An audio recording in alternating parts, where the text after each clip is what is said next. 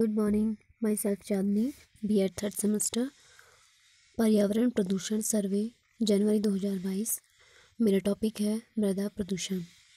मेरे द्वारा यह पर्यावरण प्रदूषण सर्वे ऑनलाइन एवं ऑफलाइन दोनों माध्यमों में किया गया है, जिसमें ऑनलाइन माध्यम में मेरे द्वारा 18 जनवरी को व्हाट्सएप स्टेटस के थ्रू लोगों को अवेयर किया गया, जिसमें मेरी दो कविताएँ थी, स्वरचित कविता।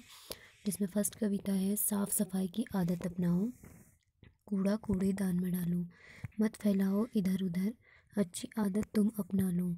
सदा सफ़ाई अपनाओ। सुंदर अपना गाँव, शहर बनाओ।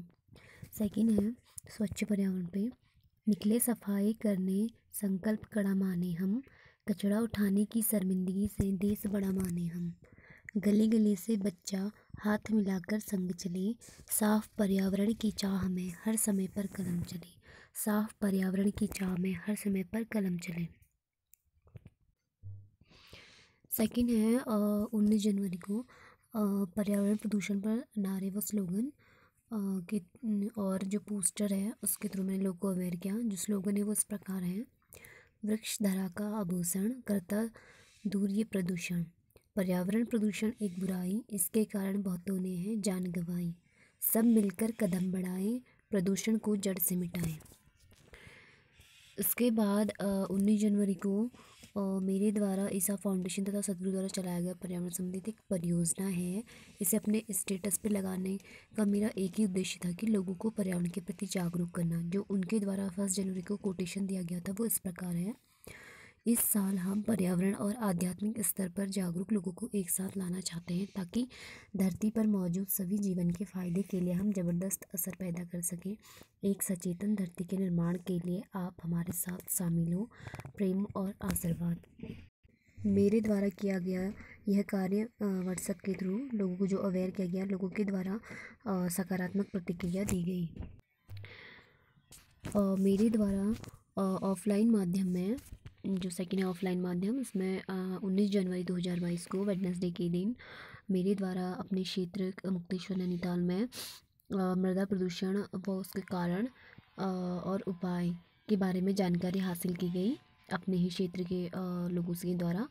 तो जो कार्य का विवरण है वो इस प्रकार है कि आज की खेती के तौर तरीके, आने वाले कल के परिणाम जो मेरे द्वारा अपने गाँव का सर्वे के दौरान पता चला कि पर्यावरण प्रदूषण ना के बराबर है, क्योंकि यहाँ पर हर जंग पर जंगलों से घिरी पहाड़ियाँ हैं। हर साल पेड़ अत्यधिक मात्राओं में लगाए जाते हैं, जिस वजह से पर्यावरण प्रदूषण ना के बराबर है। मार्केट एरिया को छोड़कर अपने गाँव में मैं पाँच छः परिवारों से जाकर मिली, उनसे पता किया कि वे खेती किस प्रकार से करते हैं और किन किन चीज़ों का उपयोग करते हैं। तो आइए जानते हैं कैसे होता है मृदा प्रदूषण।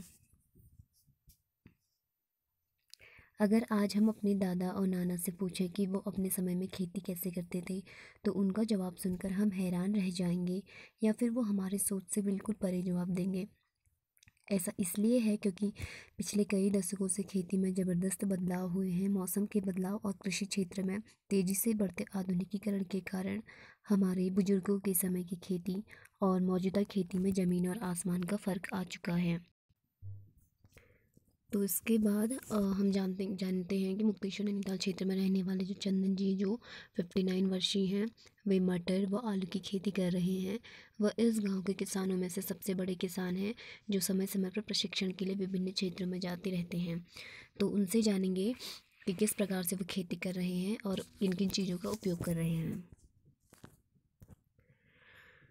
आज के समय में खेती करने के तरीके उनके द्वारा बताए गए कि फ़र्स्ट है आधुनिक कृषि यंत्रों का उपयोग हाइब्रिड बीजों का उपयोग, कीटनाशक दवाओं का उपयोग और रासायनिक खाद बीज का उपयोग। आज पहाड़ में बैलों की जगह ट्रैक्टर का उपयोग किया जा रहा है। हाइब्रिड बीज लगाए जा रहे हैं। आलू या मटर में रासायनिक खाद या यूरिया का उपयोग अधिक किया जा रहा है और कीटनाशक दवाओं का छिड़काव हफ़्ते में दो बार किया जाता है, जिससे फ़सल के तैयार होने तक कंटिन्यू किया जाता है। तो एक ही फ़सल के साथ दूसरी फ़सल को उगाया जाता है। इस सभी कारणों से आने वाले समय मृदा प्रदूषण बहुत अधिक होगा। आइए जानते हैं मृदा प्रदूषण क्या है। मृदा प्रदूषण उपजाऊ भूमि की मिट्टी का प्रदूषण है, जो विभिन्न जहरीले प्रदूषकों की वजह से मिट्टी की उत्पादकता को कम कर देता है। स्वच्छ जीवन को बनाए रखने के लिए मिट्टी सबसे महत्वपूर्ण प्राकृतिक संसाधन है। यह कई छोटे छोटे जानवरों का घर है। वही यह पौधों का जीवन है। जहरीले प्रदूषक बहुत ही खतरनाक होते हैं, जो मिट्टी की भौतिक, रासायनिक और जैविक गुणों पर प्रतिकूल प्रभाव डालते हैं। मृदा प्रदूषण स्वास्थ्य के लिए बहुत खतरनाक है।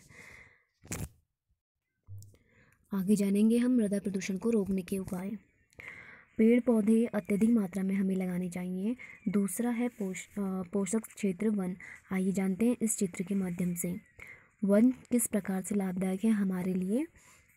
वनों से मनुष्य को ईंधन के लिए लकड़ी व इमारती लकड़ी और पानी जल स्रोत प्राप्त होते हैं।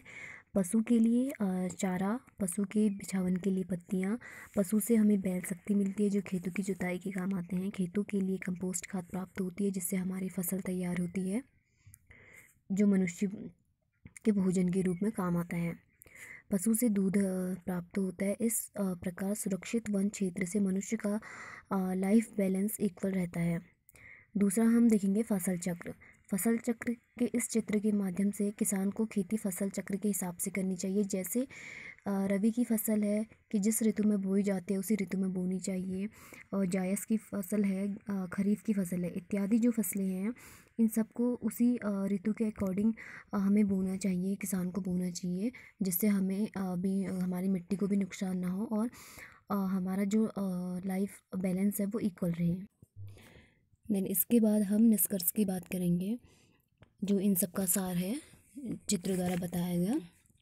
आज ही सब कुछ पा लेने के लोभ में आने वाले कल की दुर्दशा बना देने को नासमझी के सिवा और क्या कहेंगे? यह नासमझी जितनी अधिक कृषि क्षेत्र में हुई है, उतनी शायद और कहीं नहीं। एक बार ही में खेतों से सब कुछ छीन लेने की सनक के कारण रासायनिक खादों एवं कीटनाशक दवाओं का प्रचलन इधर बेतहासा बढ़ा है। इस प्रचलन से तत्कालिक राहत तो ज़रूर मिली है। खेतों में उत्पादन, उत्पाद भी बढ़ा है, लेकिन इन तत्कालिक लाभों के पीछे क्या छुपा है?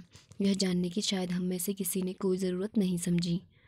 हमारे आज के कारनामे हमें कल क्या परिणाम देंगे? इस सत्य पर यदि हम विचार करें तो उस लालची आदमी का किस्सा हमारी आँखों के सामने तैरने लगेगा, जिससे एक साथ सारे सोने के अंडे पा लेने के लिए बेचारी मुर्गी की जान ले ली।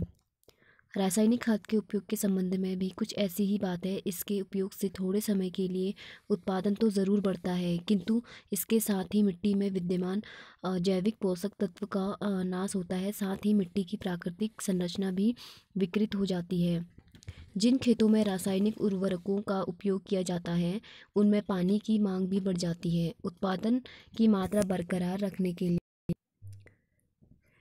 दूसरी, तीसरी बार क्रमशः ज़्यादा रसायनों का प्रयोग करना पड़ता है, जिससे खर्चा बढ़ने के साथ मिट्टी की प्राकृतिक उर्वरता नष्ट होने की दर भी बढ़ जाती है।